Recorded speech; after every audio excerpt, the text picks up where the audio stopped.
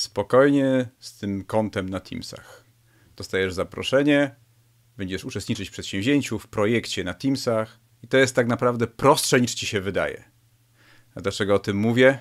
No bo dostałem wiadomość od znajomego, że się pół godziny męczył z tym, żeby się na Teamsy zalogować. Został zaproszony do przedsięwzięcia na Teamsach. No i mówi, kurczę, to chyba bierzemy się za Porsche, żeby po prostu worek kartofli przewieźć. Myślę, że nie, że jak już wejdziemy do tego, to nawet myślę, że Teamsy to nie ten Porsche, ale to może jakiś taki SUV mniej więcej średniej klasy, ale jak już wejdziemy do niego, to on będzie dobrze działał. No i teraz tak, w dzisiejszym materiale pokażę Ci trzy scenariusze, jeżeli Cię interesuje jeden z tych trzech scenariuszy, na dole w opisie znajdujesz spis treści, idziesz do scenariusza, który Ciebie interesuje, odpalasz i dowiadujesz się tego, czego się potrzebujesz dowiedzieć. Pierwszy scenariusz, o którym dzisiaj mówimy, to jest taki: zapraszają Cię do przedsięwzięcia, do projektu, w którym trzeba być w Teamsach, bo to nie tylko spotkania wideo, ale jakieś dzielenie plików, konwersacje, jakieś różne materiały ponagrywane. Zapraszają Cię, a Ty nie masz ani konta na Microsoftie, ani w ogóle nie chcesz mieć tego konta na Microsoftie, jak sobie poradzić. Zaraz, zaraz pokażę, to jest zupełnie proste. Potem będzie drugi scenariusz. Zapraszają cię, masz uczestniczyć w projekcie, przedsięwzięciu na Teamsach, masz konto wprawdzie na Office, na Microsoftie, ale w innej organizacji. Pokażę ci, jak sprawić, że bezproblemowo wejść sobie do tego projektu w tej zapraszającej cię innej, zaprzyjaźnionej organizacji.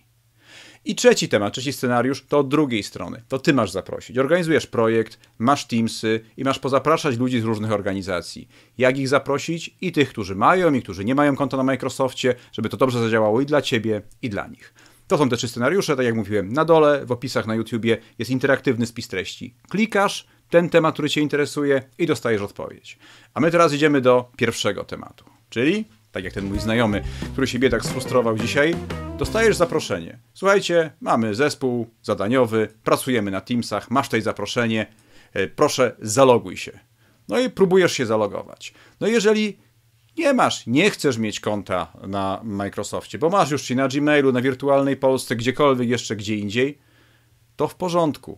Klikasz link zaproszenia, który był wysłany na twój adres, na przykład na wirtualnej Polsce i otwierasz sobie przeglądarkę tej przeglądarce widzisz informację, że jesteś zaproszony, zaproszona do zespołu Teamsowego, no i jeżeli chcesz tam dalej wejść, to potrzebujesz potwierdzić. No to potwierdzasz, tak? Dostajesz na maila informację z prośbą, żeby ten kod potwierdzający tam wpisać. Dalej potwierdzasz, że ty to ty, że zgadzasz się na te wszystkie zasady, które tam były. Idziesz krok dalej. Możesz aplikację zainstalować, możesz powiedzieć, tam żadnych aplikacji nie chcę, czyli w przeglądarce wybierasz sobie Teamsy i jesteś na Teamsach. Jesteś członkiem zespołu na Teamsach, pracujesz sobie, jesteś zalogowany tak jak powinna, czy zalogowany tak jak powinnaś być, możesz tam pisać, pliki ładować, oglądać, dyskusjach uczestniczyć. Jesteś członkiem zespołu na Teamsach, w ogóle nie zakładając niczego, nie instalując niczego specjalnego Microsoftowego. Masz to rozwiązane. Więc ten pierwszy scenariusz mamy załatwiony. Ale mamy drugi scenariusz. Tak naprawdę ten drugi był nieco bliższy scenariuszowi mojego kolegi, bo on już ma konto na Microsoftie. Co więcej, on ma i konto korporacyjne, i ma konto swoje prywatne, ma swój komputer prywatny, który gdzieś tam jest logowany przez y, domenę Outlook. No i zapraszam go. Dostał zaproszenie, no i jak on tam ma wejść? Przez którą domenę? Jak się zalogować? Czy mm, on ma osobno zmieniać, mm, wpisywać się na moją domenę? Nie. On jako gość klika link, klikasz link, potwierdzasz, że wejdziesz na do tej organizacji, która Ciebie zaprasza, w moim przypadku Hybrid Solutions, wchodzisz i jesteś i działasz. No działasz, jesteś, ale no widzisz tutaj na tych Teamsach tylko i wyłącznie ten zespół i te kanały, które ja stworzyłem. A gdzie te wszystkie Twoje? Ano, w prawym górnym rogu na Teamsach widzisz przełączenie. I tam sobie przełączysz, że albo sobie wchodzisz do Twojej macierzystej organizacji, albo jako gość do tej, do której Cię zaprosili. Do jednej, drugiej czy trzeciej. No i to był ten drugi scenariusz, czyli ten scenariusz, że zaprosili cię do projektu na Teamsach, ale z innej organizacji. No i teraz trzeci scenariusz, czyli ten scenariusz dla organizatora.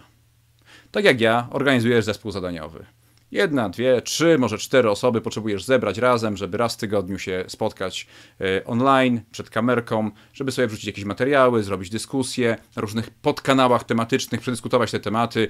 Projekt, który potrwa na przykład pół roku i potrzebujemy regularnie spotykać na Teamsach i mieć takie jedno repozytorium, gdzie wszystkie materiały z naszych spotkań się znajdują.